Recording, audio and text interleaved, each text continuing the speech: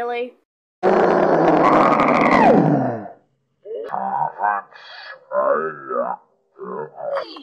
Ruby, I gotta borrow you for a sec. Guys never grow enough petals out of your head to win. Anyway, Tell me, ignorant friends, that I'm pretty.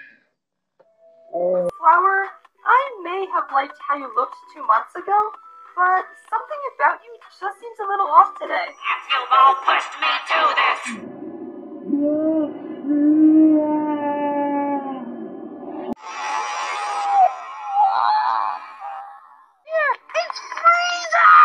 freezing! Didn't join the game. I will. And that's vertigo. Oh no. Larry, are you doing a weird face? This is getting You actually got zero votes. Whatever, I'll get payback anyway. And Alexa, with zero votes. They're not welcome back. Now, you'll face out right. Nice! And then they throw Puppy into Dragon. When was this started like that? Only one vote.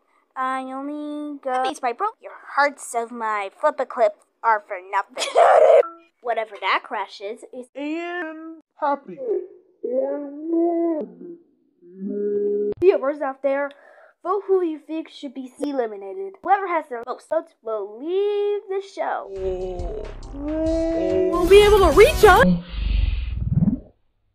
And competing for But can you tell us what the prize is? Uh, I guess key is safe. There is one spot left. Do you really know anything about vacuum cleaners? yeah. Miguel.